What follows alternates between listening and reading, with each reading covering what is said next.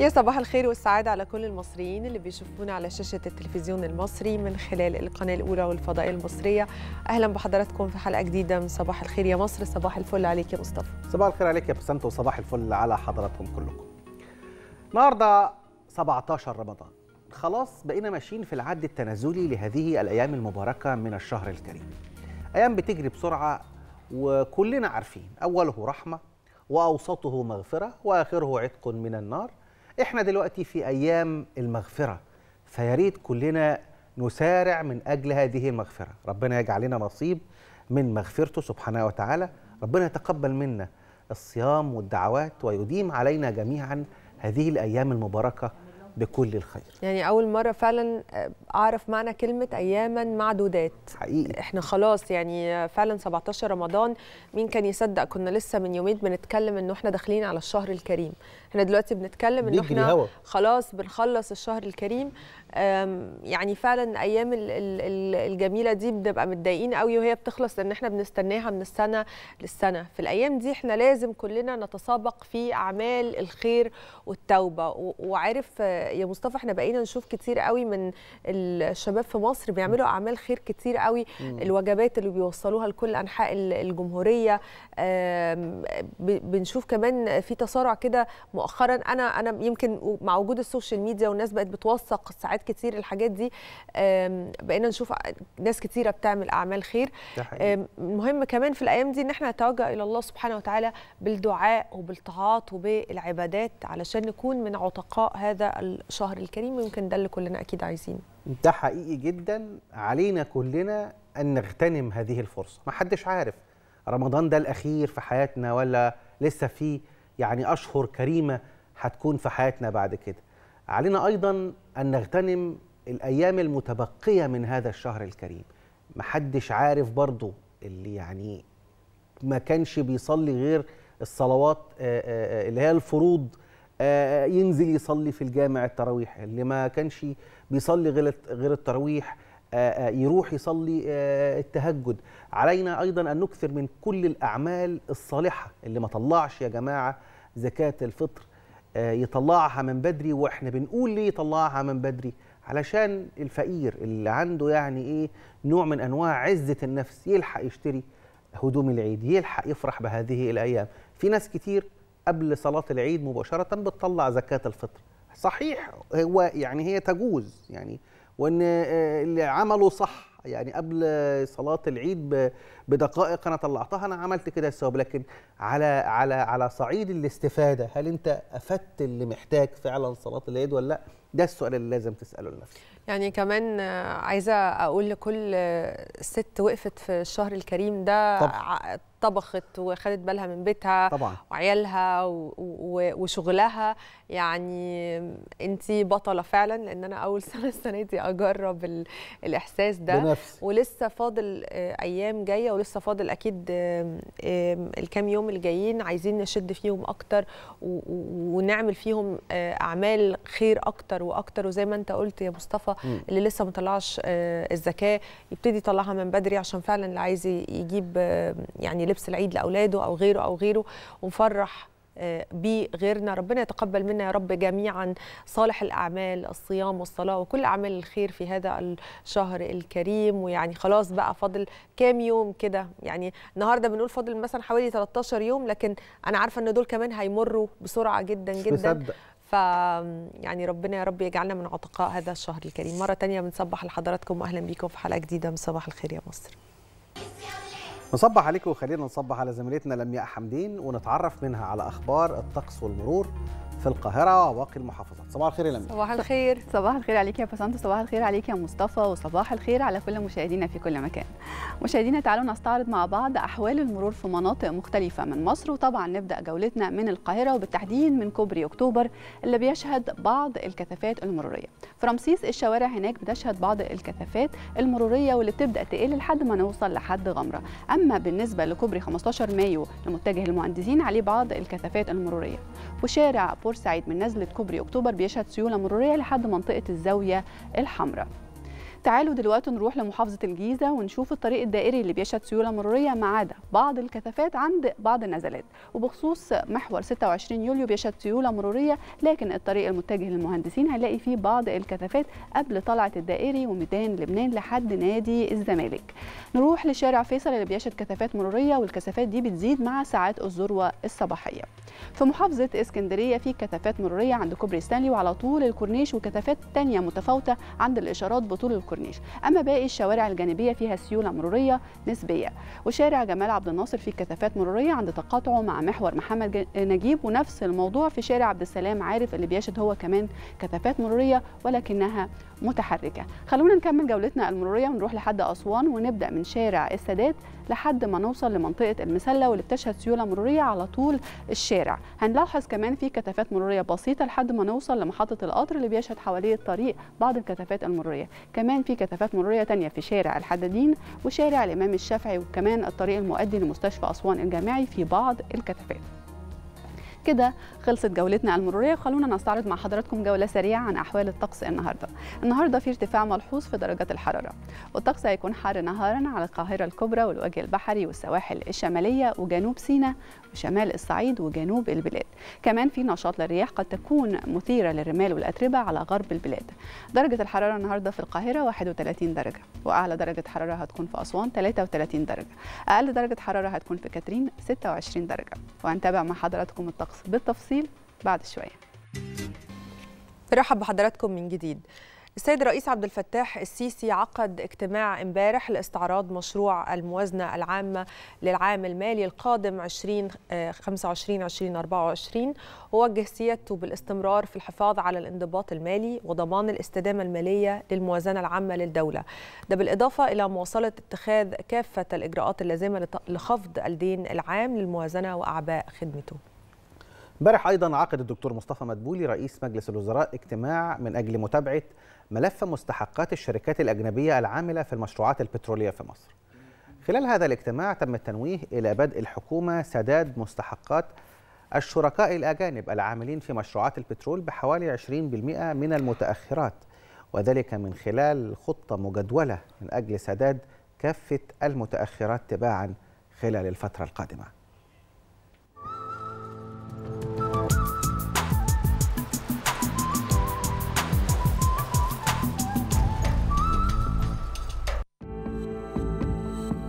أخبار كتيرة مهمة حصلت امبارح. أبرزها اجتماع الرئيس عبد الفتاح السيسي لاستعراض مشروع موازنة العام المالي القادم 2024-2025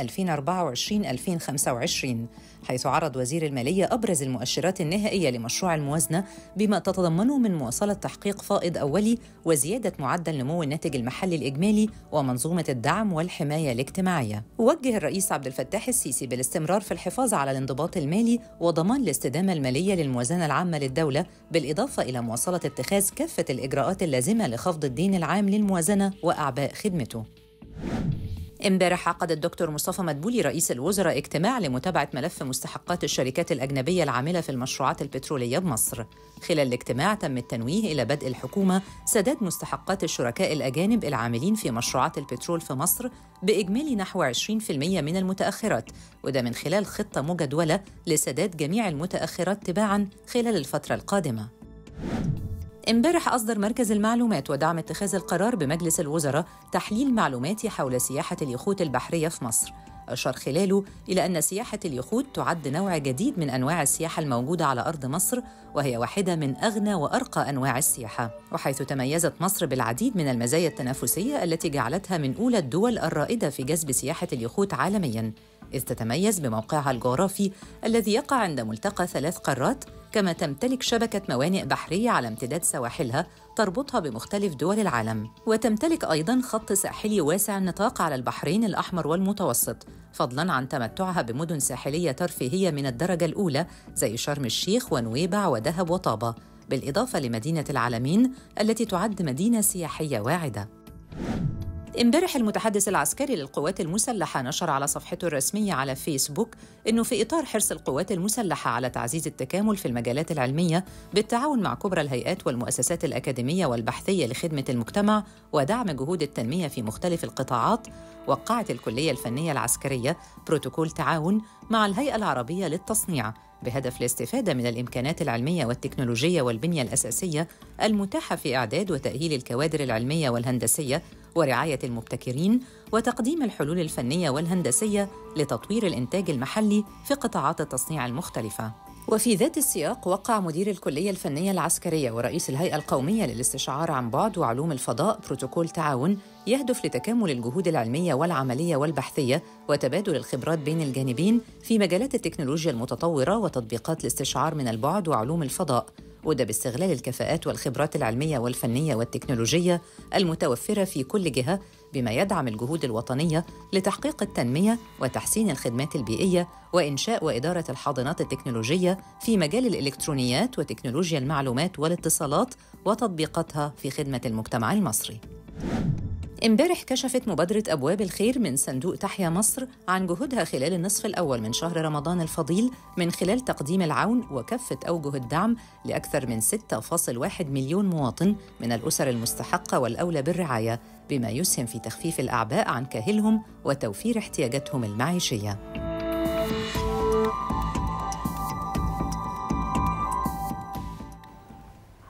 أما بالنسبة لأخبار المحافظات آه، في الأسكندرية تم بدء تنفيذ أعمال ترميم الحفر والمطبات على مستوى أحياء المحافظة وفي الشوارع الرئيسية. أما في بني سويف قد تم استلام ست أطنان من السكر والأرز من أجل توزيعها على الأسر الأولى بالرعاية. كمان في كفر الشيخ تم الإعلان عن بدء التسجيل بالمبادرة الوطنية للمشروعات الخضراء الذكية. أما في الشرقية فتم تحصين 1144 راس ماشية خلال قافلة بيطرية بمنيا القمح.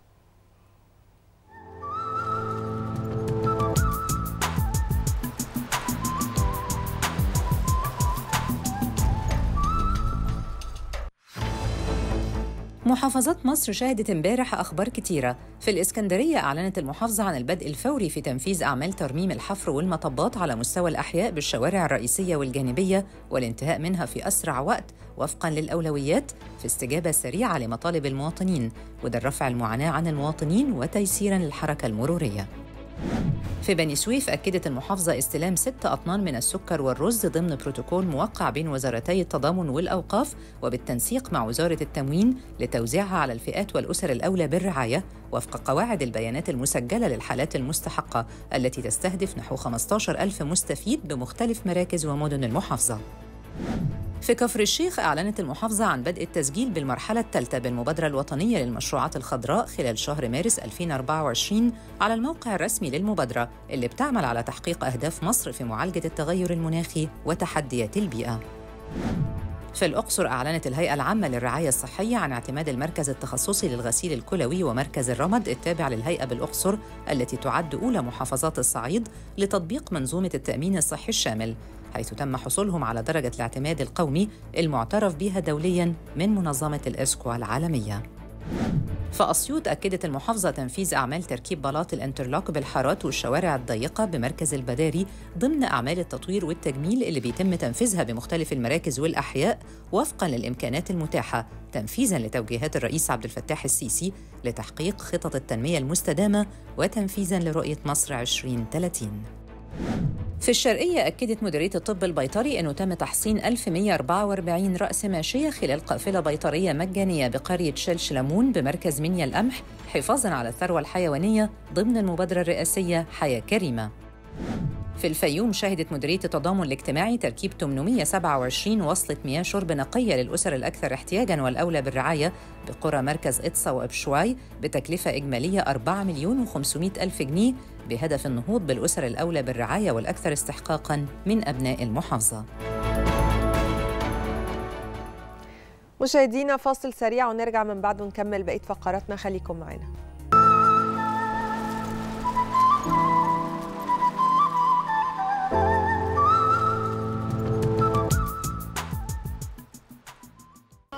بصبح عليكم مرة تانية.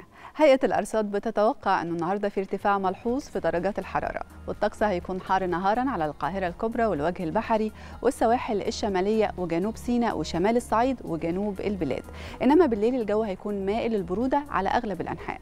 كمان في نشاط للرياح قد تكون مثيرة للرمال والأتربة وده هيكون على غرب البلاد. خلونا نعرف دلوقتي تفاصيل أكتر عن حالة الجو من الدكتورة منار غانم عضو المركز الإعلامي بهيئة الأرصاد الجوية. صباح الخير يا دكتور. صباح الخير على حضرتك أستاذة لميا وصباح الخير على كل السادة المشاهدين. أهلا بك يا فندم. أهلا بحضرتك وطمنينا عن حالة الطقس النهاردة. إحنا طبعا هيكون اليوم في استمرار لارتفاع قيم درجات الحرارة. يمكن إحنا بدأنا من أمس ارتفاع في قيم درجات الحرارة.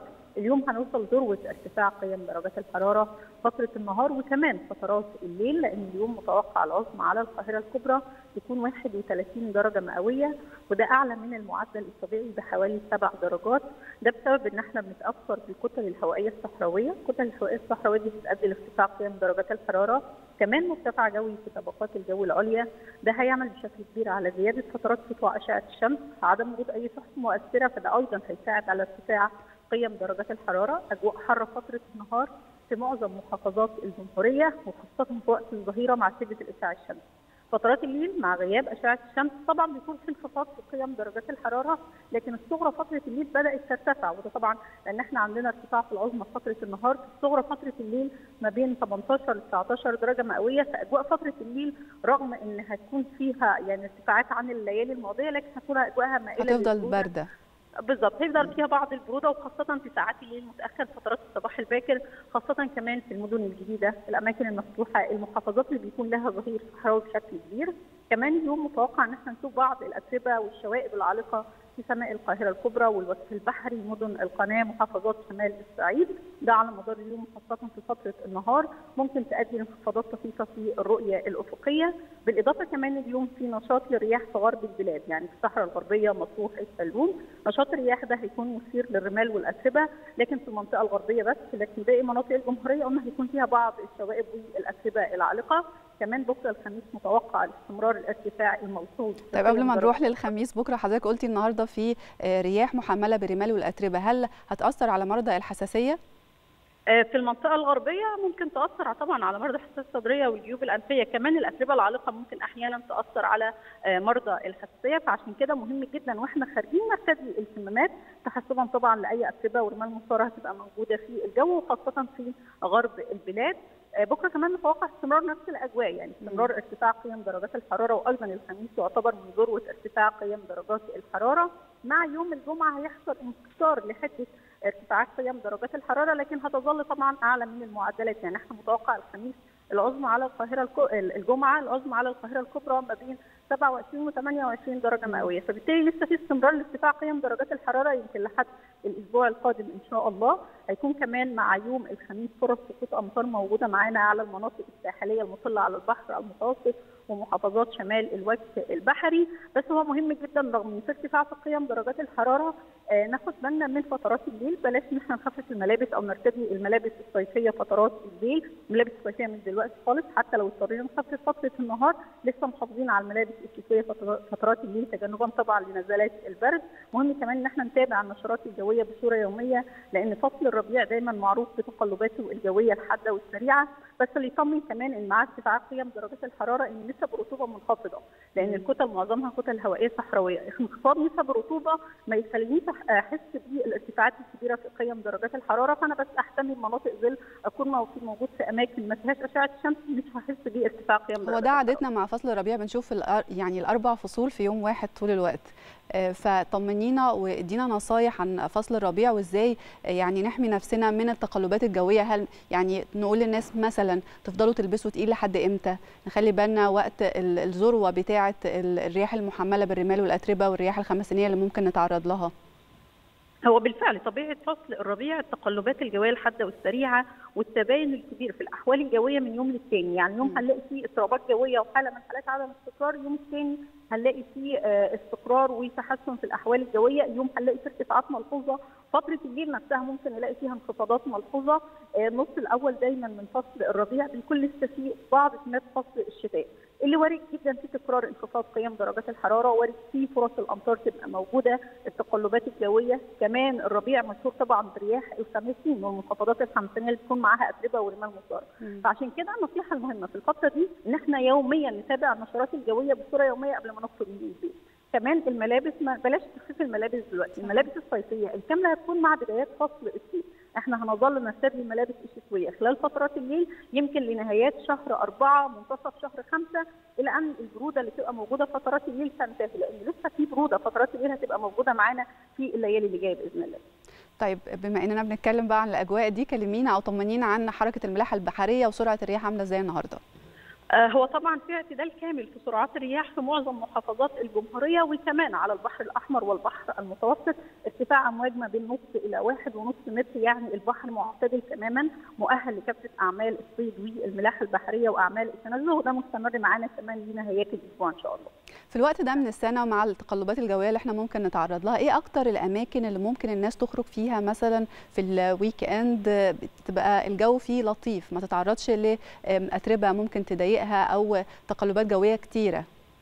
هي طبعا الأماكن الساحلية يمكن الأماكن الساحلية وخاصة المطلة على البحر المتوسط بتكون قيم درجات حرارتها هي الأقل في الجمهورية كلها. المناطق الجنوبية بتكون أعلى في الأماكن الساحلية وخاصة المطلة على البحر المتوسط نقدر نستمتع فيها بالأجواء بشكل كبير في اعتدال في سرعات الرياح على البحر المتوسط فبالتالي البحر مؤهل لكافة أعمال التنزه. في كمان آه، طبعا انخفاض قيم درجات الحرارة عن المحافظات الداخليه رغم إن المناطق الساحلية قيم درجات الحرارة فيها آه، طبعا بتكون عاليه خلال هذه الأيام مع ارتفاع قيم درجات الحرارة لكن طبعا هي بتكون أقل من القاهرة الكبرى أو المحافظات الداخلية. بشكرك في النهاية. شكرا جزيلا الدكتورة منار غانم عضو المركز الإعلامي بهيئة الأرصاد الجوية. مشاهدينا تعالوا دلوقتي نتابع درجات الحرارة المتوقعة ونبدأها بالقاهرة للعظمى فيها 31 والصغرى 19 العاصمة الإدارية 31 18 اسكندرية 30 18 والعالمين الجديدة 30 18 مطروح 31 17 ودمياط 27 19 بورسعيد 30 19 الاسماعيليه 32 20 لو رحنا للسويس العظمى فيها 31 والصغرى 19 العريش 31 19 كاترين 26 8 طابة 29 15 حلايب 26 19 وشلاتين 29 18 شرم الشيخ 30 19 الغردقة 30 19 الفيوم العظمى فيها 32 والصغرى 18 بني سويف 32 18 الوادي الجديد 31 16 أسيوط 32 17 شه- سوهاج 32 18 قنا 33 19 الأقصر 33 19 وأخيرا أسوان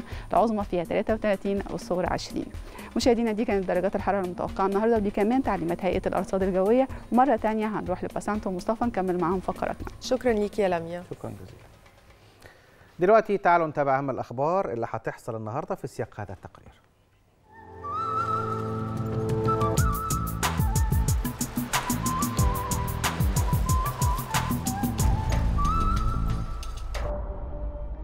بالنسبة للأخبار اللي هتحصل النهاردة فهيحيي المركز القومي للمسرح والموسيقى والفنون الشعبية ضمن فعاليات برنامج هل هلالك الليلة العشرة للبرنامج بالاشتراك مع فرقة الحضرة المصرية للإنشاد الديني في الثامنة والنصف مساء على مسرح ساحة الهناجر للفنون. كما يشارك البيت الفني للمسرح كما هو معتاد كل عام في برنامج هل هلالك برائعة الشاعر صلاح جاهين والموسيقار سيد مكاوي عرض العرائس الشهير أوبريت الليلة الكبيرة وده طوال فترة إقامة برنامج هل هلالك.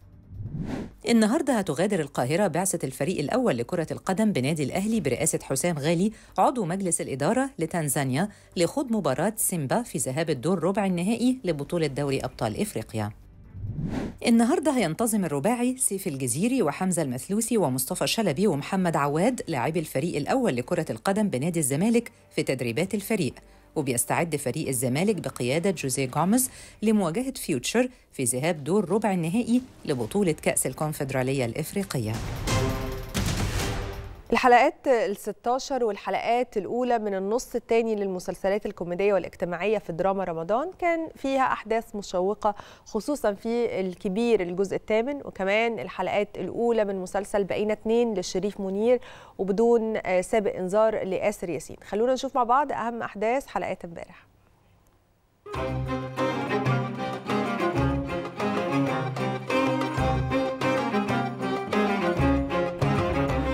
الحلقات الستاشر والحلقات الأولى من مسلسلات النص الثاني لدراما رمضان الاجتماعية والكوميدية شهدت أحداث مشوقة. في الحلقة 16 من مسلسل الكبير أو الجزء الثامن طلبت مربوحة من الكبير خلال أحداث الحلقة بعد ما رجليها اتكسرت إنها تدور على أي حد يساعدها في الدوار لأنها مش قادرة تقف على رجليها وبلغت إن بنت عمها هتيجي عشان تساعدها في الأعمال المنزلية. أنا بنت عمتي هنا في البلد ولسه جاية من بلاد بره تيجي تساعدني في البيت وتشوف طلباتي وبالمرة تسليني. هتاخد كام؟ بقول لك بنت عمتي هديها 200 جنيه أنت بتشتمنا. 225 وجبه مش هتاخد حاجة. دي زي أختي. عشنا أجمل أيام الطفولة السعيدة سوا. بتجولي فيل. شريك خليك عوض. في الحلقة الأولى من مسلسل فراولة بطولة النجمة نيلي كريم شهدت تصدر فراولة أو نيلي كريم الترند على مواقع التواصل الاجتماعي بعد نجاحها في إقناع فتاة بالعدول عن الانتحار بطريقة ذكية. هنا فراولة لقت ترحيب قوي من العاملين في شركة التسويق العقاري وطلبت ثلاث شهور مكافأة لأنها نجحت في إقناع العميل الصيني ببيع مقر الشركة له. مديني شيك ب 5000 جنيه وكمان بدون رصيد. واهدي يا فراولة. لا مش ههدى يا فراولة انت فاهمة. دلوقتي إن السوق صعب وإحنا بالعافية بندفع مرتبات والتزامات فخدنا قرار إن إحنا نخفض العمولات شوية. ده ما اسموش تخفيض ده اسمه نصب حضرتك. اسمه نصب. يا فراولة فهميني عيب كده انت بنت الشركة. آه مفيش حاجة بتجنني غير الكلمة دي. في الحلقة الأولى من مسلسل وبقينا اتنين للنجم شريف منير ورانيا يوسف شهدت إن أدهم صاحب شركة دعاية وإعلان نسي يوم عيد جوازه ال 25 ونكدت عليه ياسمين زوجته وهنا بيرد عليها بإنهم كبروا على مرحلة الهدايا وبيطلب منها إنها تنزل تختار اللي يعجبها. مش معقول يا ياسمين بقى؟ طيب أنا أنا آسف. حقك عليا. كل سنة وأنت طيبه الحلقة 16 من مسلسل إمبراطورية ميم للنجم خالد النبوي جه فيها أحداث كتير. بعد ما مروان أبو المجد فاز في الانتخابات بيقرر وضع قوانين جديدة وبيسيطر على إدارة البيت بحكم فوزه وبيجتمع بأفراد أسرته وبيبلغهم بالقوانين الجديدة. قررت إن مايا تروح التمرين. ده بعد إذن حضرتك طبعا. هو أنا لو مش موافق يفرق. طب مسامح ولا إيه؟ استعرضت أحداث الحلقة الأولى من مسلسل بدون سابق إنذار للنجم آسر ياسين والنجم عائشة بن أحمد مجموعة من القضايا المهمة. قضايا انتهت بيها الحلقة بصدمة جديدة لمروان بعد ظهور نتيجة التحاليل الطبية الخاصة بابن عمر وتحاليل ابن أخوه حسن اللي أجراها من أجل التبرع له ببعض الخلايا لإنقاذه من مرض السرطان. وهنا بيصدموا الدكتور بأن واحد من الأطفال دول مش ابن لوالده إيه ده؟ ده مفيش تطابق أصلا. يعني إيه مش فاهم؟ يعني حد من الولدين دول مش ابنكم. يعني استحالة الولدين يبقوا ولاد عم. توالت الأحداث في الحلقة 16 من مسلسل صدفة بطولة ريهام حجاج. صدفة راحت لأدهم في عيادته ومشي وراها طارق اللي اتصل بيها وطلب منها تخرج من العيادة لكنها رفضت. وقالت له إنها أخت زوجة الدكتور أدهم. وهنا كانت صدمة أدهم لأنه ما يعرفش إن منار ليها إخوات غير فرح إيه ده؟ أنت اسمك صدفة عجيبة؟ ده اسمك ده ولا أنت جاية تهزري؟ امم ابتدينا في الاستظراف صح؟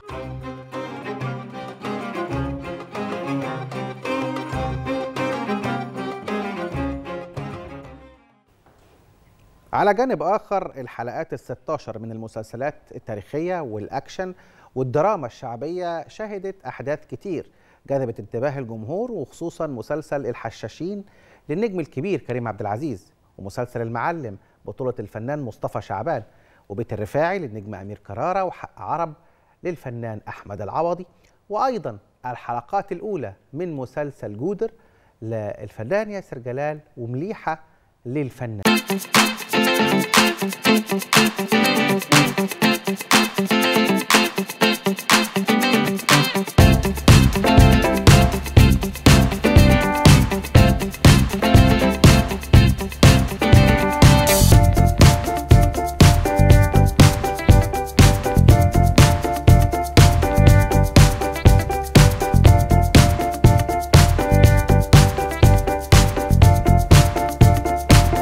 حشاشين وده بعد ما وقع في قبضة الشرطة إلا أنه احتال عليهم وطلب منهم يسيبوه مقابل إعطائهم مبلغ مالي كبير على باب المدينة. ولما وصل لباب المدينة أعطاهم كيس من الذهب وأثناء إمساك الجنود للكيس قتلهم. ادي البوابة. فين شريكك؟ تحت هدومي. إيه؟ بدأت أصدق إنك راجل طيب. ولسه هتصدقني أكتر لما أطلع لك الكيس التاني.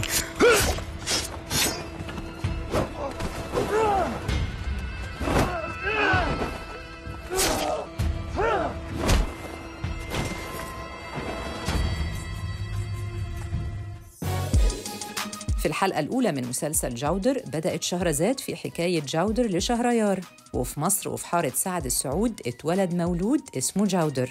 البداية كانت بحمل أيتن عامر في مولود ووقت ولادتها بيروح ابنها يبلغ أبوه عمر بالولادة. وقتها كان في تاجر معاه اسمه جودر بيشتري منه بضاعة. وفي يوم سبوع جودر كانت موجودة بومة بتراقبهم عن بعد لحد ما راحت لمقر طقوس الشمعيين وبتتحول لإنسان وبتبلغهم بولادة الطفل جودر عمر المصري.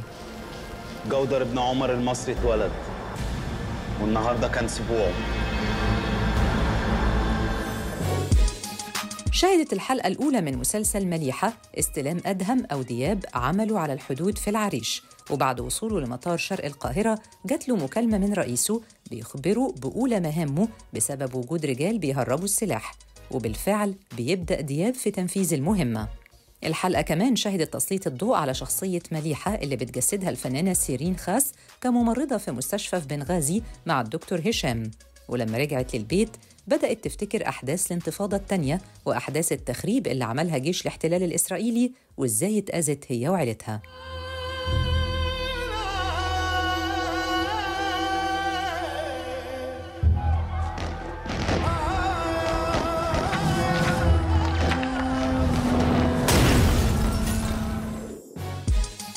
شهدت أحداث مسلسل صيد العقارب الحلقة 16 بطولة غادة عبد الرازق أحداث مختلفة.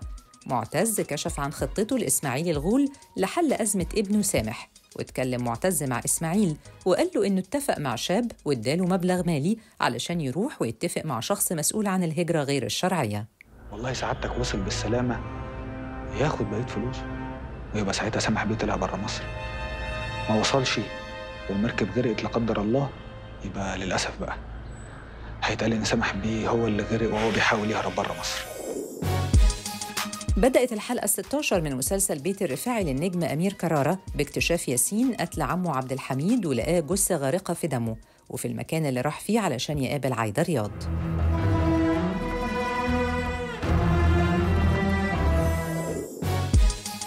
شهدت أحداث مسلسل حق عرب الحلقة 16 محاولة ملثمين خطف عرب أو أحمد العوضي لكنه بيضربهم وبيقوم واحد منهم بإطلاق النار عليه وبيصيبه في دراعه. في نفس الوقت الشرطة بتوصل وبيهربوا وفي نفس الوقت عرب بيهرب هو كمان.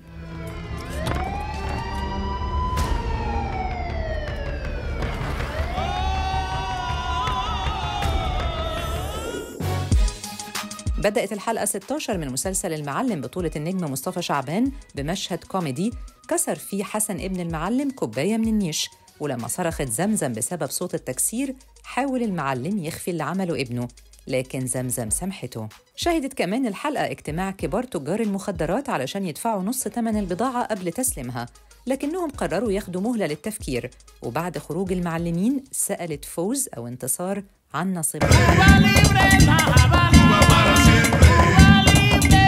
Cuba para siempre.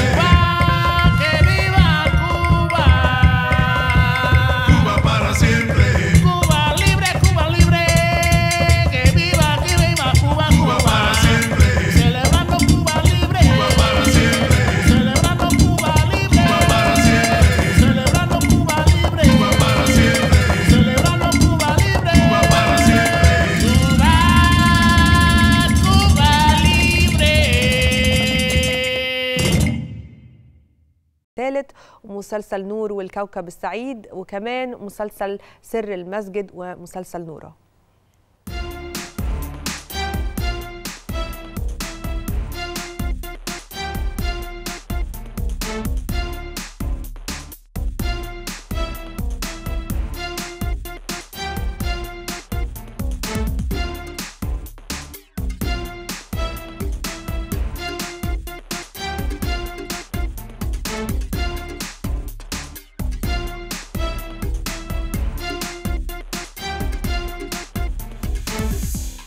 الحلقات ال16 من مسلسلات الأنيميشن والكرتون في شهر رمضان شهدت أحداث مشوقة.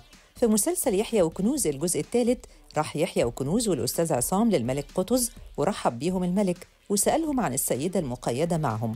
وبيرد يحيى بأنها البروفيسورة جميلة اللي كانت بتساعد جيش التتار لهزيمة مصر. وبيتحدث الملك مع الأستاذ عصام عن إنه بالرغم من إن المماليك ليسوا مصريين لكن انتمائهم للمكان اللي احتواهم. اللي زعل إن اللي بيبيع البلد هو صاحب البلد. بس الحمد لله مصر ربنا حاميها بشعبها ورجالها المخلصين. كمان بدأت أحداث الحلقة 16 من مسلسل نورة بحديث نورة مع الأستاذة عن إن مروان حذرها ولم يرد على رسائلها. وردت عليها أستاذتها بأنها ستصل له من خلال بياناته المتواجدة في المدرسة. وخلال أحداث الحلقة بتظهر والدة نور وبتكلمها عن إن تصرفات نور مش بتعجبها الفترة دي وبتقول لها إن هي مش مصدقاه إنه استعار معدات التصوير من صديقه. طب ما تجيب لنا بالفلوس دي حاجة نحل بيها بعد الأكل. بابا حبيبي هو في أحلى مني. أما عن الحلقة 16 من مسلسل نور والكوكب السعيد فبدأت بظهور نور وزهرة وفرحة وصديقهم رامي وهم بيبحثوا عن سامر في منطقة جليدية كبيرة وبيحدثهم نور عن إنه من الممكن عمل جولة للبحث لكن بيرد رامي بإنه يجب أن يذهبوا لآخر منطقة ظهرت فيها عربية سامر. أوعدك هنعمل كل اللي نقدر عليه عشان يرجع لك بالسلامة. أما أحداث الحلقة 16 من مسلسل سر المسجد فبدأت بنجاح حبيبة في حل لغز من الألغاز حتى تصل لسيف وبالفعل تمكنت من الوصول لسيف عشان تخبره بأن غلباوي بيحضر لعمل مقلب له ولأصدقائه لكنه أخبرها أن سيف استطاع الهروب من فخ غلباوي. ما تخافيش يا حبيبة هو فعلا نصب لنا فخ ولكن الحمد لله ربنا خلصنا من الفخ ده.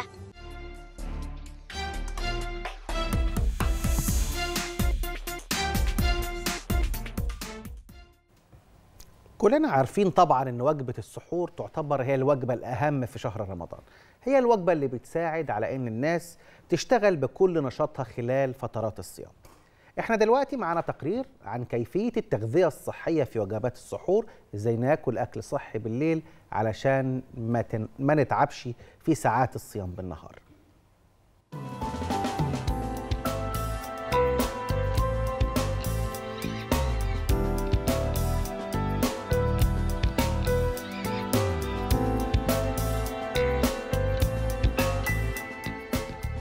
لما باجي أتكلم على التغذية في رمضان والتغذية السليمة لفترات الصيام أنا بحب أبدأها إن أنا أتكلم على وجبة السحور. لأن أنا لو وجبة السحور بتاعتي تمت بشكل سليم هيبقى الصيام بتاعي إن شاء الله سهل مش هحس بتعب جامد وهحافظ وعلى صحتي بطريقة أحسن. وجبة السحور مفروض إن إحنا السنة طبعا إن إحنا بنأخر السحور بتناول وجبة متوازنة بحيث إن هي بتساعدني على الصيام تاني يوم. ما اشعرش بالجوع الجامد ما اشعرش بالعطش الجامد. أراعي إن أنا هتناول فيها النشويات المعقدة. هاخد مثلا عيش بلدي مش هاخد عيش فينو ولا هاخد عيش شامي هاخد حاجة زي البقوليات زي الفول مثلا. طبق الفول مناسب جدا للسحور في نسبة عالية من البروتينات وبروتينات عالية الجودة. آه، وفي نسبة من النشويات اللي برضو هضمها بياخد وقت فبالتالي بتحسسني بالشبع آه، لفترة أطول. آه، لازم يكون في آه، مصدر للدهون موجود في الوجبة بتاعتي وتكون من الدهون الصحية. آه، يعني بحط مثلا معلقة آه، زيت على آه، طبق الفول أو بحط عليه آه، معلقة طحينة. لازم يكون معايا خضار في الوجبة دهيت آه، هاخد آه، الخضروات الورقية بصفة عامة. تبقى فيها نسبة عالية من الألياف برضو بتخلي الهضم يتم بطريقة تدريجية وبيكون فيها الخضروات عموما بيبقى فيها نسبة عالية من السوائل ونسبة عالية من المية اللي ربنا آه، خالقها فيها فبالتالي آه، بتخلي جسمي في حالة ترطيب مستمرة حتى لو أنا ما تناولتش المشروبات على مدار آه، نهار رمضان. إيه تاني؟ برضو من مصادر ال- ال- المهمة للبروتينات في وجبة السحور. ممكن آخد بيض ممكن آخد آه، جبن زي الجبنة البيضاء مثلا أو تكون جبن آه، ملحها قليل بصفة عامة. آه، أحاول أتجنب إيه بقى في وجبة ال- السحور؟ أتجنب المقليات آه، بقية ال- الأكل اللي كان موجود على الفطار ما أحطوش تاني على السحور المقليات. اولا بتديني سعرات حرارية عالية ثانيا هتحسسني بالعطش تاني يوم. السكريات والحلويات برضو مش مستحب إن هي تت... إن إحنا نتناولها في وجبة السحور لأن هي برضو هتحسس بالعطش الجامد آه، آه، تاني يوم آه، وإحنا آه، صايمين.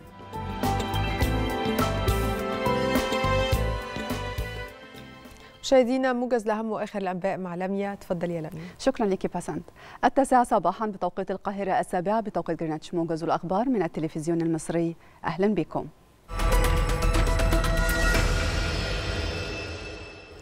وجه الرئيس عبد الفتاح السيسي بمواصلة تحقيق الانضباط المالي وضمان الاستدامة المالية للموازنة العامة للدولة. وخلال اجتماع مع رئيس مجلس الوزراء مصطفى مدبولي ووزير المالية لاستعراض مشروع موازنة العام المالي المقبل وجه الرئيس السيسي بمواصلة اتخاذ كافة الإجراءات اللازمة لخفض الدين العام للموازنة وأعباء خدمته وزيادة النمو الاقتصادي. من جانبه عرض وزير المالية أبرز المؤشرات النهائية لمشروع الموازنة والتي تستند على تحقيق معدل نمو قدره 4% من الناتج المحلي الإجمالي. كما ستشهد تحقيق فائض أولي قدره 3.5% وخفض العجز الكلي على المدى المتوسط إلى 6% من الناتج المحلي الإجمالي. استقبل وزير الخارجية سامح شكري وفدا من حركة فتح برئاسة محمود العلول نائب رئيس الحركة. وخلال اللقاء أكد شكري على حتمية وضع حد نهائي للكارثة الإنسانية التي يتعرض لها الفلسطينيون في قطاع غزة ووقف الانتهاكات الإسرائيلية وممارسات العقاب الجماعي ضد الفلسطينيين.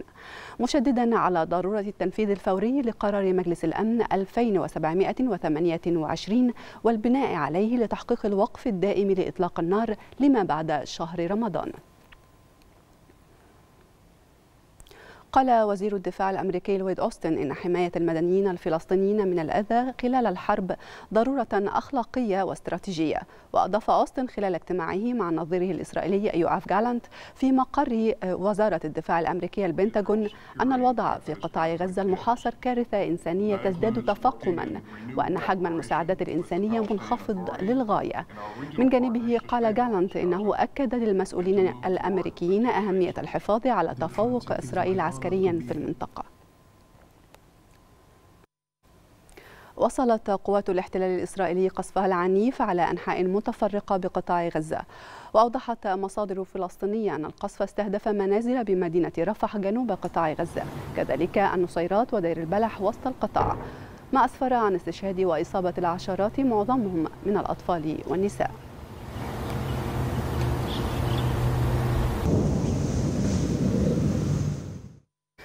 أعلنت السلطات الصحية في قطاع غزة غرق 12 شخصا أثناء محاولتهم الوصول للمساعدات قبالة شاطئ غزة. وقالت السلطات الصحية في قطاع غزة إن ستة آخرين استشهدوا نتيجة التدافع في أكثر من مكان حين كانوا يحاولون الحصول على مساعدات ألقتها الطائرات بشكل خاطئ في ظل المجاعة المستمرة في شمال القطاع.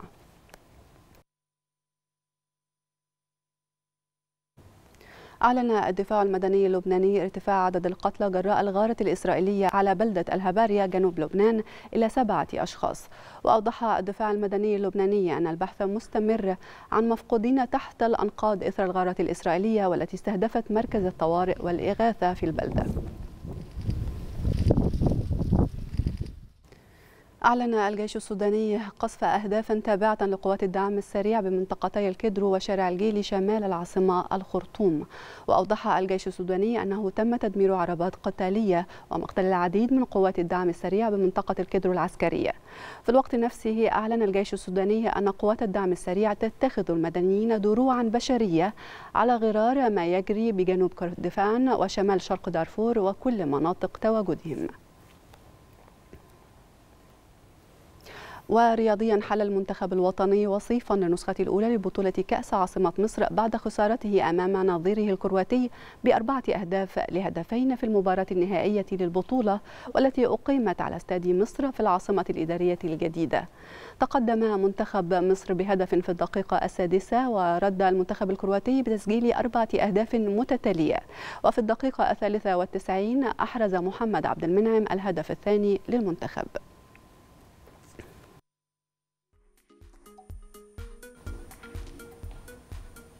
مشاهدينا انتهى موجز التاسعة ونعود لاستكمال باقي فقرة صباح الخير يا مصر بعد الفاصل.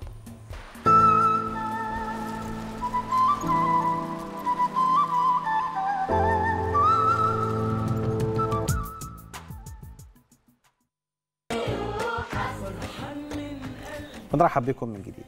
في الحقيقة دراما رمضان السنة دي بتقود معركة الوعي وبتتبنى قضايا اجتماعية بتهم كل بيت مصري وعربي.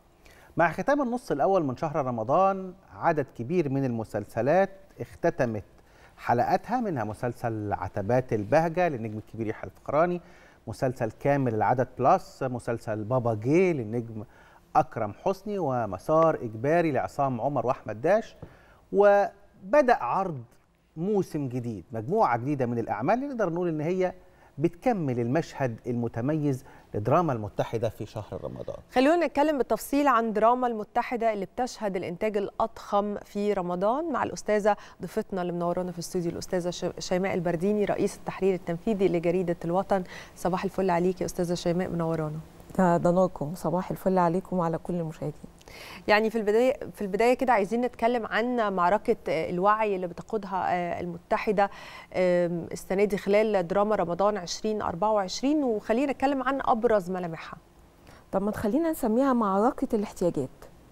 يعني الوعي أحد الاحتياجات اللي المواطن المصري محتاجه. حضرتك لما بتروحي تشتري أو بتروحي لمكتبه بتختاري الكتب اللي انت بتعتادي على قراءتها أو بتحبي قراءتها. لكن مش دايما بتروحي لمنهج أو لكتاب أو لموسوعة مش من اهتماماتك. المتحدة قدمت المكتبة بالصورة النموذجية. حضرتك في هذه المكتبة ما بحبش أقول عليها مائدة بقول مكتبة. المكتبة دي بتقدم كل شيء تقدم الوعي كأحد الاحتياجات لمن يحتاجه. بتقدم الترفيه كأحد الاحتياجات الأساسية لكل المصريين. بتقدم الأعمال اللي بتخاطب الأطفال بتقدم الأعمال اللي بتخاطب الأسرة كلها. يعني الطفل وهو بيتفرج أكيد الأم قاعدة جنبه بتشوفه بيتفرج على إيه ومشدود لإيه. الكوميديا والكوميديا الاجتماعية والكوميديا اللي فيها فانتازيا. الكبير عامل السنة دي شغل جامد جدا والأطفال والكبار بيتابعوه لأنه القصص فيها فانتازيا كتير. زي ما الأستاذ مصطفى أشار كامل العدد عتبات البهجة رغم إنه مسلسل نقدر نقول تقيل لكنه كمان فيه لمسات من الكوميديا الإنسانية والحياتية اللي كلنا بنشوفها. يكفي إن النجم الكبير يحيى الفخراني طالع وكأنه YouTuber بيقدم محتوى جاذب لل social media فبيتكلم حتى بلغتنا. ففي شوية mix ات حصلت في الدراما السنة دي لمسانا كلنا. فهو أنا أقدر أسميها وباقتدار وبعد انتصاف الشهر الكريم إن هي دراما الاحتياجات. كل حسب ما يحتاجه وجده. المسلسلات الاجتماعية كان ليها برضو نصيب الأسد من الاهتمام. كان في عدد من الرسائل اللي نقدر نقول إن هي رسائل مهمة. المسلسل المسلسلات الاجتماعية دي اديتها للأسرة المصرية في شهر رمضان وخصوصا في مسلسل عتبات البهجة ومسلسل كامل العدد. إيه هي أبرز هذه الرسائل؟ آه الأسرة. يعني إحنا رجعنا تاني بعد كامل العدد وبشوف ال social media وبشوف قعداتي مع الأصدقاء وأي سحور وأي إفطار آه ما تيجوا نعمل زي ك... ما, نعيش كلنا في بيت واحد. إيه ده؟ إحنا. رجعنا تاني المنطق بتاع الأب والأم والأجداد والأحفاد يكونوا كلهم في بيت واحد. أكيد طبعا الحياة مش بالصورة اللي كانت الكوميديا اللي موجودة في كامل العدد طبعا. لكن الملمح ده ملمح إن إحنا نتلم حوالين بعضينا ملمح إن الأسرة تاني ترجع تكمل. العزوه وخد بالك هو ده. بادئ من فترة من قبل رمضان. يعني ما بيننا ميعاد ودي دراما المتحدة كانت بتشاركنا في ال- الحلول. الأب عنده مشكلة الأم عندها مشكلة الأبناء عندهم مشكلة. هيحلوا المشكلة دي إزاي؟ إحنا بنبقى قاعدين بنتفرج بنتداخل. المفروض يعملوا ده المفروض يعملوا ده. بيغششونا حلول بيدونا نموذج للحياة اللي إحنا بنعيشها. المشاكل دي إحنا عشناها في بيوتنا ومع أولادنا. ممكن تبقى آه، جرعة الدراما فيها مش مش كبيرة هي جرعة الواقع فيها أكبر. بابا جه بابا جه ده مرعب. ده الولاد بقى في البيوت بابا جه ماما جت على حسب مين اللي, اللي غايب. مم. اللي غايب هنا غايب علشان إحنا كلنا زي ما أكرم حسني في الحلقة الأخيرة آه، ولاده لما ظهروا معاه قال لهم هو أنا بعمل كل ده ليه علشانكم الكلمة ديت إحنا نفهمها لكن ولادنا ما بيفهموهاش.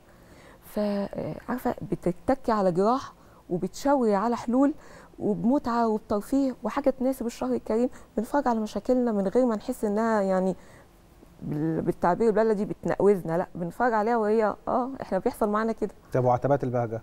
عتبات البهجة هو اسم على مسمى. يعني ظهور يحيى الفخراني النجم الكبير في في, في رمضان هو في حد ذاته بهجة. هي عتبات الفخراني مش عتبات البهجة. فهي برضو دراما بتلمس نقدر نقول بس كاتيجوري أكبر شوية في السن آه، آه، بتلمس آه، كل اللي عندهم نفس المشكلة الإحساس إن إحنا كبرنا إحساس إن إحنا بعدنا. لا مم. أنتوا موجودين أنتوا بركتنا وأنتوا حياتنا وأنتوا امتدادنا. بس إحنا يمكن في سرعة الحياة ممكن نكون بعيدين بعيدين شوية عن الفئة العمرية ديت باحتياجاتها لكن هي موجودة في رمضان.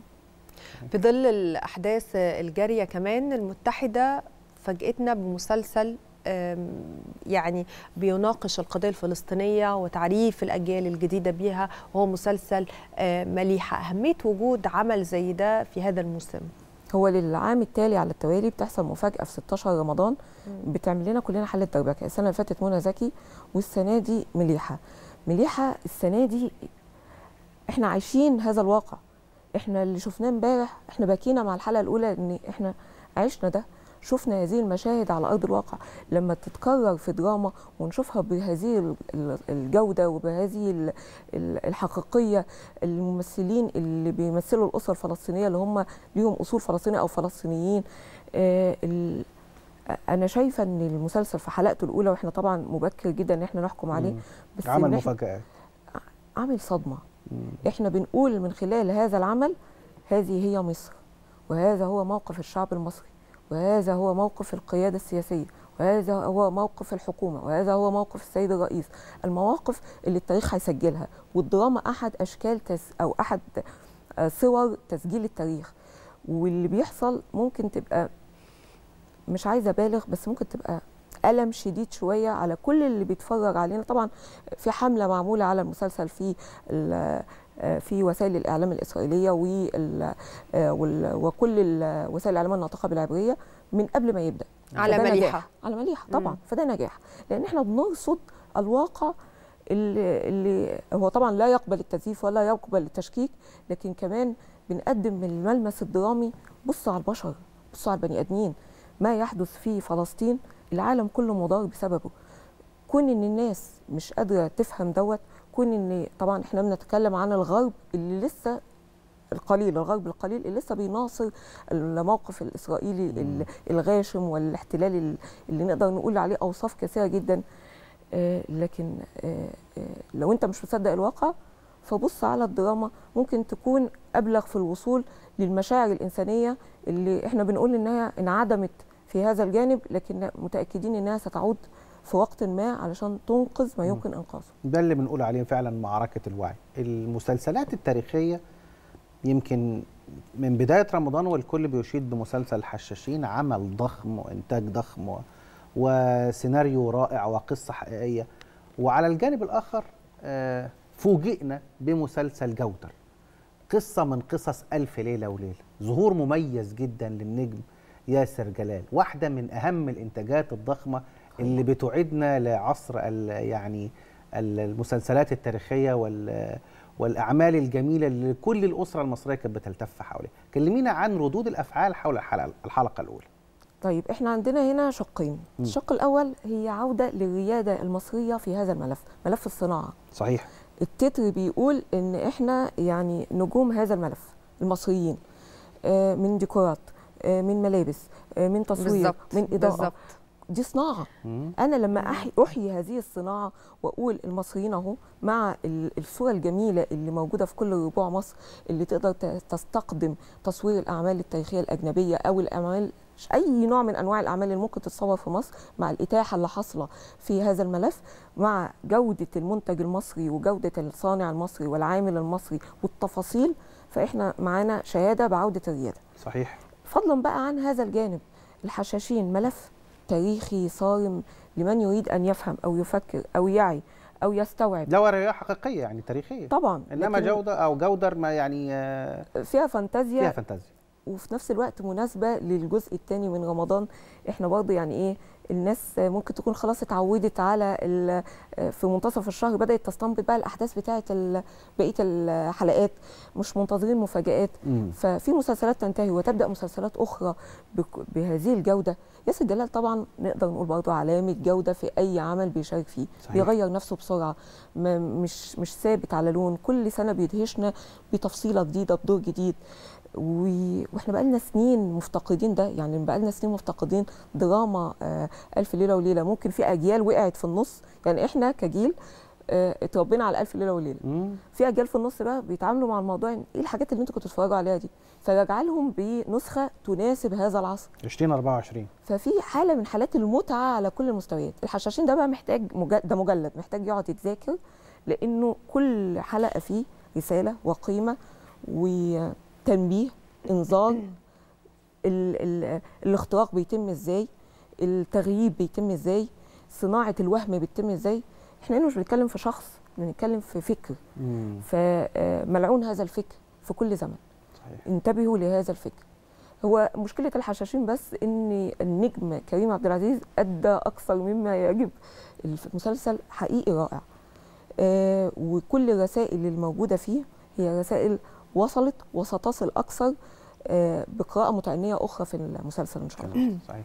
دايما متعودين إن الوجوه الجديدة أو الشباب آه، دايما بيبقى ابن البطل بنت البطلة. لكن السنة دي إحنا شايفين مساحة كبيرة جدا ومهمة جدا لنجوم آه، هم الجيل الأبطال. الجديد. يعني بالظبط هم شايلين مسلسلات. فشفتي ده إزاي؟ شفتي إزاي الشباب دول يتصدروا آه، زي ما قلتي البطولات آه، اللي لفت نظرك خلال ال- النص الأول من الشهر الكريم مسار إجباري. طبعا مسار إجباري عمل يعني مدهش. في مم. كل التفاصيل. فكرته مختلفة. الفكرة مختلفة. مم.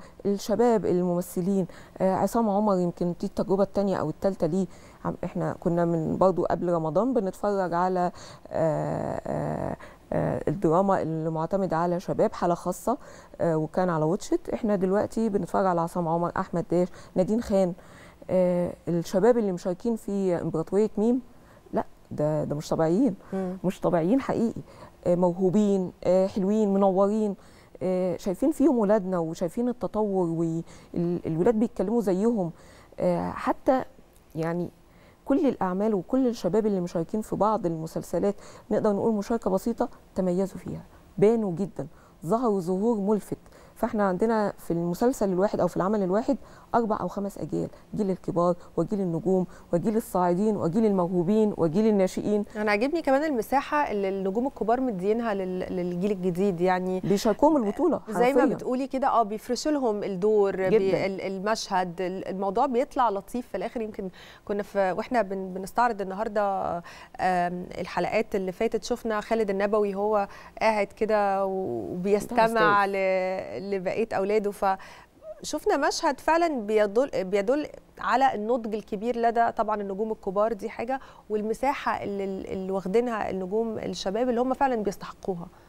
صحيح وزي ما وضحت لحضرتك ده موجود في كل في كل مسلسل. ما فيش مسلسل ما فيهوش نجم بارز في في يعني على الأقل في مساحة الدور وفي تأثير الدور. ما هو مش الفكرة في المساحة فقط وإنه دور مؤثر ومكمل للبطل.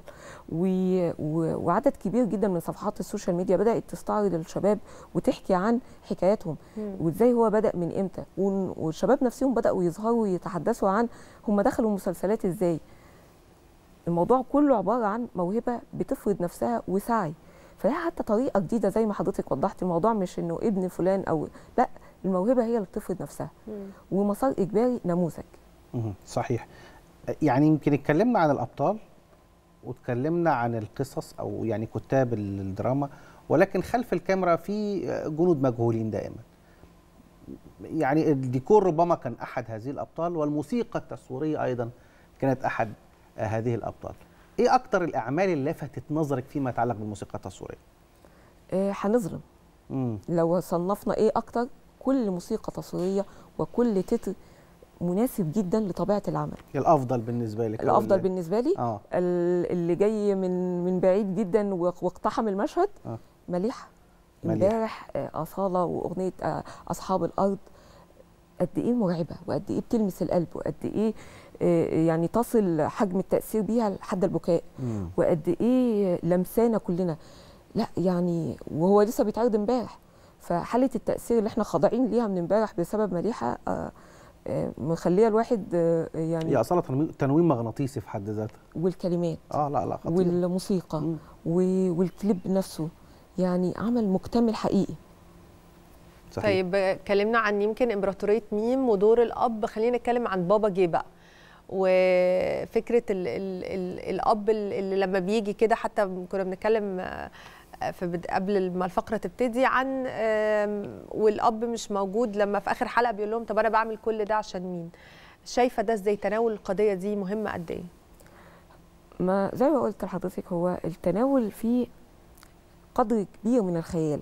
الخيال اللي خلاكي تستوعبي إن المشكلة ديت انت انت مش فاتحة التلفزيون تتفرجي على مشاكل. مم. ومش فاتحة التلفزيون وإحنا صايمين علشان تلاقي آه، آه، حد بيفكرك بمشكلتك اللي في البيت إن الأب مشغول أو الأم مشغولة. لكن هو سرسب الموضوع زي ما بيقولوها كده بالبلدي ال- يحسس الناس بالأزمة وإزاي الحلول. أنا بس مش قلقانة غير إنه يبقى فعلا نلاقي بكرة ابلكيشن اسمه بابا جه نلاقي بقى دراما ال- ال- ال- نلاقي- الدراما انعكست على الواقع. بتحصل.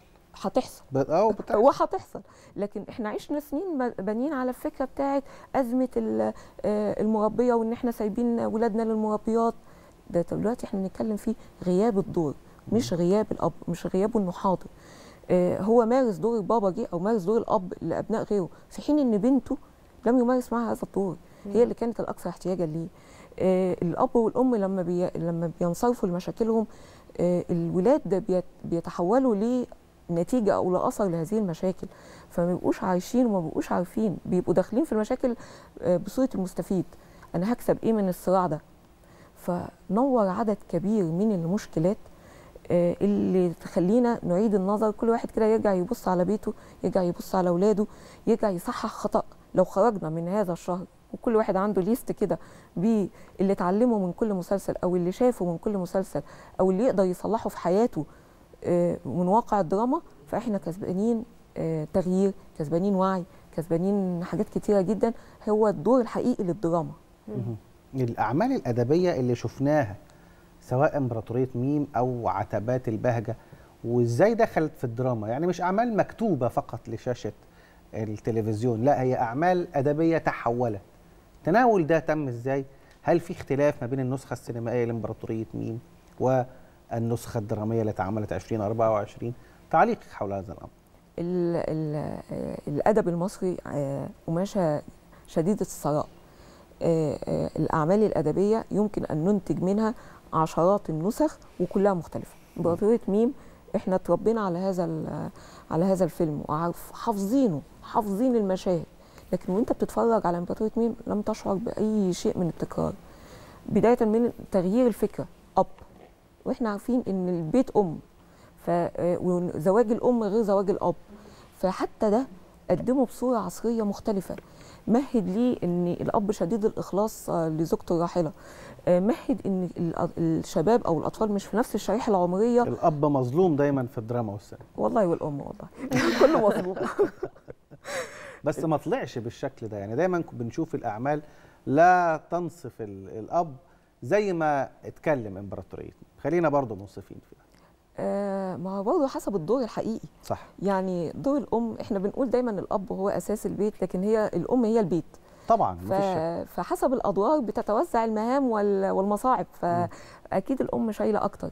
لكن آه، ال- الملحة في ال... في ال... في دراما رمضان السنة دي إنها وزنت ما بين فكرة الادوار الأم زي الأب الاثنين مسؤولين عن هذا البيت. كل ليه دور كل ليه مسؤولية. آه، وأي خلل في أي دور ولو بقدر بيأثر على الناتج الناتج بتاع البيت دوت اللي هو الأبناء. صحيح. فكمية الإشارات الاجتماعية زي ما حضرتك أشرت في الدراما السنة دي آه، تقول إن إحنا فاهمين المجتمع المصري فاهمين التغير اللي حاصل فاهمين مشاكل ولادنا وبنحاول نلاحقهم. وبنحاول نقول لهم إن المشكلة أهي والحل ممكن يبقى ده. صحيح. حسب تجربتك وحسب ظروفك وحسب حياتك. طب إيه بقى المسلسلات اللي انت حابة تكمليها أو أو بدأت في النص التاني وعايزة تكمليها متحمسة لها؟ طبعا مليحة طبعا. مم. طبعا مليحة. جودر هيبقى أساسي. آه، بس آه، مع طبعا المسلسلات اللي بادئينها من من أول رمضان. آه، في في بس نقطة مهمة أنا باكبر ممكن أكون مش هروح أتفرج عليه آه، لاعتبارات كتيرة يعني. لكن بأكبر على المشاهدة لأني أنا بنتي بتيجي تقول لي أنا بنتي تسع سنين عايزة آه، لوك زي نوره ال animation مسلسل animation مم. عايزة تعمل شعرها زيها. اللي هو. إيه ده؟ فين نوره آه يحيى وكنوز آه عايشين معانا في البيت. مم. إحنا آه كلنا لازم نقعد نتفرج على يحيى وكنوز. طب رأي يعني بنتك بتقولك إيه على مسلسلات ال animation؟ آه مركزة في الشخصية. آه بتحاول تاخد الموقف بتاعها. لو هي مكانها هتعمل إيه؟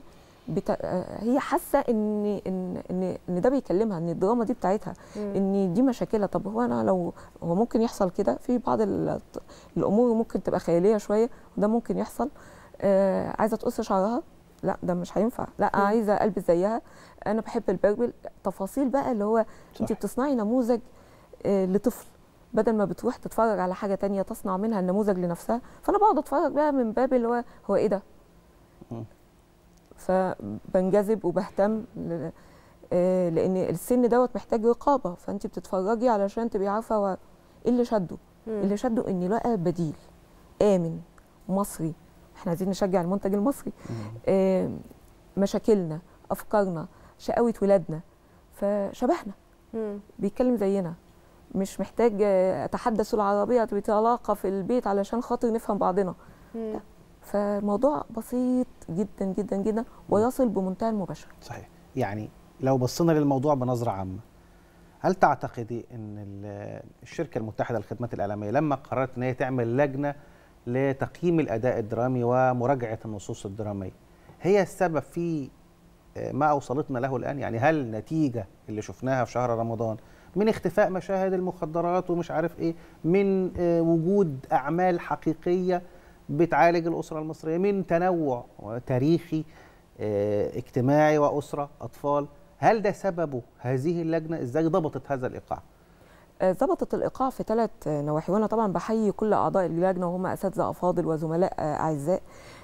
لكن هي ضبطت الإيقاع اولا هو في مشاهد مخدرات وفي مشاهد قتل وفي مشاهد جريمة. بس في السياق الدرامي لكن هي مش الأساس. بالظبط إحنا كده كنا بنفتح التلفزيون على طول. دي آه، ده مقتول وده بيقتل وده بيذبح وده.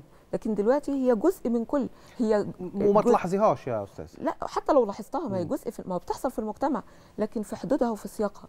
لكن مش هي الأساس. مش المجتمع المصري كله بكل هذا العنف. لا في جمال. طب ما نشاور على الجمال. وأيضا نشاور على الأخطاء عشان نعالجها. الدراما بتستهدف كل أنواع أو كل فئات المجتمع المصري. عندنا آه، آه، الحاره الشعبية موجودة عندنا المجتمع المتوسط موجود عندنا الكومباوند موجود عندنا الفئات العمرية المختلفة زي ما أشرنا فئة الأجداد فئة الأبناء فئة الشباب. فالميزة في آه، أو في أداء اللجنة إن حضرتك قدرت تقدم تنظم المكتبة. أيوه. ما يبقاش كله فئة واحدة ما يبقاش كله صورة واحدة. ما تطلعش آه، حاسس إن الحياة وردي وإيه ده أو مكتئب وكاره المجتمع وكاره نفسك إحنا هننكد على بعض أنت شايف كل حاجة شايف صفحة من مصر وصفحة حقيقية مشاكلنا آه، صورتنا. آه، شوارعنا آه، الممثلين بتوعنا الجمال اللي بيشرفونا في كل مكان وفي كل مهرجان وفي كل دولة بيروحوها هذه الدراما تعبر عن مصر أيضا في الخارج لأن هو رمضان مصر سواء على. مستوى الأرض أو على مستوى الدراما كل الأعمال المصرية بتعرض على الشاشات ويعني وحاله ال- الاحتفاء بيها والالتفاف حولها بتقول إن الناس شايفانا إزاي. فإحنا بنقدم الجمال وبرضه بنقدم بعض المشاكل اللي تخلينا نقول ده موجود في المجتمع. آه طبعا موجود بس بالنسبة دي مش بالصورة اللي كانت بتتقدم قبل كده. لا وفي فعلا اختلاف آه، كبير قوي في ال ال ال الدراما اللي بتتقدم لنا من النهارده لما بنشوف جودة الصورة اللي بنشوفها في الحشاشين أو زي ما شفناها في جودر امبارح حاجة فعلا تدعو للفخر وإحنا متحمسين قوي لما تبقى من حلقات آه، في آه، مسلسلات الشهر الكريم. عايزين نشكرك نتابع طبعاً. فراوله بقى عشان ما لحقناهاش امبارح. وما لحقناش نتكلم عليها كمان. نشكرك آه، أستاذة شيماء البرديني رئيس التحرير التنفيذي لجريدة الوطن. كل الشكر ليكي على وجودك ميرسي شكرا يا أستاذة أحسنتي. شكرا جزيلا. شكرا جزيلا. مشاهدينا هنروح لفاصل سريع ونرجع من بعده نكمل بقية فقراتنا. خليكم معانا.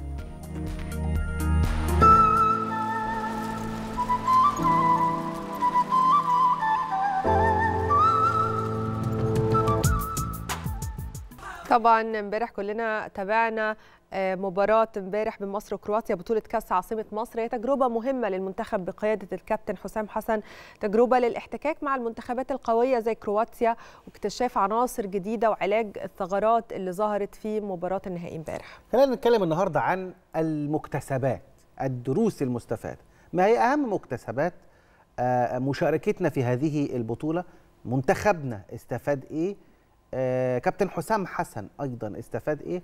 بصحبتنا الأستاذ خالد الكيلاني الناقد الرياضي رئيس قسم الرياضة في موقع مبتدأ. صباح الخير يا أستاذ خالد. صباح الخير لحضرتك وكل المشاهدين. بالتأكيد هناك يعني مجموعة من المكتسبات والدروس المستفادة للمنتخب المصري والكابتن حسام حسن بعد المشاركة في هذه البطولة. لو نعددها 1 2 3 4 هو خلينا يعني خلينا زي ما حضرتك بتقول إن في مكتسبات كتير في ماتشات إحنا صحيح الماتش ده ما كسبتش الماتش ولكن أنت كسبت من المباراة. يعني في مباريات أنت بتكسبها وفي مباريات بتكسب منها كتير جدا. البطولة بشكل عام فيها مكتسبات فنيه ومكتسبات للعيبة ومكتسبات لكابتن حسام ومكتسبات للرياضة المصرية بشكل عام. آه عايزين نوضح للناس بس بعض الفروق. مدرب كرواتيا آه ماسك المنتخب ده بقاله سبع سنين. كابتن حسام في خلال أسبوعين نقدر نقول إنه عمل شغل كبير جدا مع مع المنتخب الوطني. المنتخب كان يقدر آه، يلعب بشكل متحفظ قدام منتخب بحجم كرواتيا. إحنا بنتكلم عن منتخب آه، بيكسب آه، منتخبات كبيرة منتخب وسيط العالم منتخب في ال- في التصنيف ال- العالمي.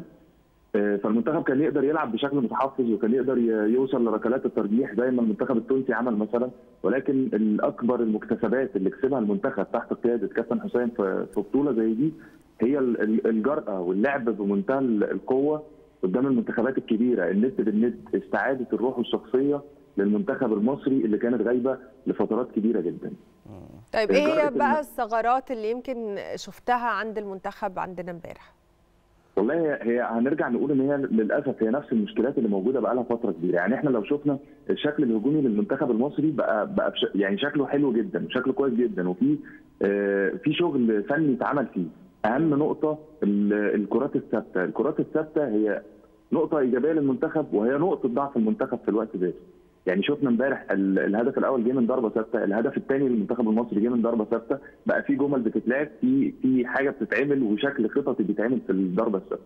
الناحية الثانية أكبر أزمات المنتخب المصري هو ال- الشق الدفاعي خاصة التمركزات الدفاعية في الضربات الثابتة التغطيات العكسية وتعامل حراس المرمى مع الضربات الثابتة. مشكلة كبيرة جدا لكن خلينا نقول إن كابتن حسام حسن كان عنده وقت قليل جدا وهو فضل يشتغل على ال- الضربات الثابتة هجوميا لأن خلينا نوضح للناس إن التشكيل الهجومي اللي كان موجود في المعسكر الحالي بنسبة كبيرة جدا هو ده التشكيل الأساسي للمنتخب المصري. يعني هو يمكن يفتقد بس كابتن محمد صلاح باستثناء كده هو التشكيل الأساسي للمنتخب المصري. على الجنب الثاني ما نقدرش نقول التشكيل الدفاعي اللي موجود اللي كان موجود في المعسكر ده هو ده التشكيل الدفاعي الأساسي.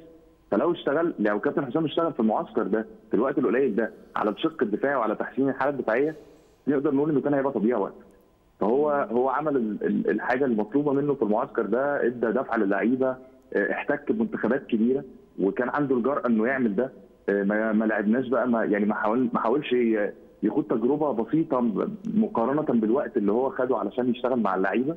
لسه فترة كبيرة ولسه ال ال يعني هيبقى قدامه وقت كبير يعمل شغل كبير مع اللعيبة إن شاء الله. لكن إحنا كويس إن إحنا قدرنا نعرف إيه هي النقاط السلبية اللي عندنا عشان نقدر نشتغل عليها في اللي جاي. أكيد طبعا أكيد. و... لا التجربة ناجحة بكل المقاييس والمنتخب ظهر بشكل كويس جدا.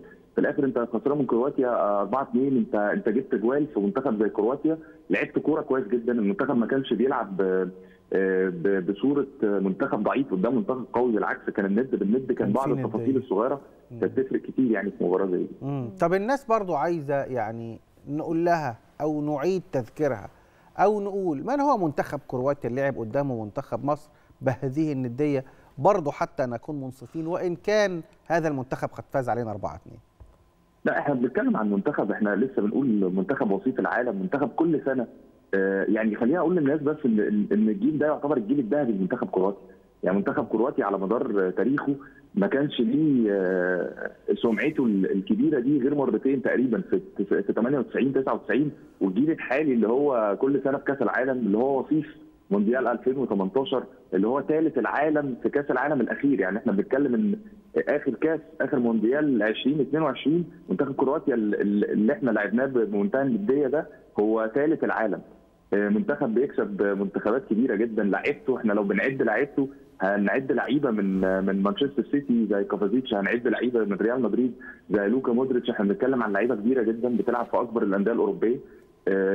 بتلعب كرة على مستوى عالي طول الوقت.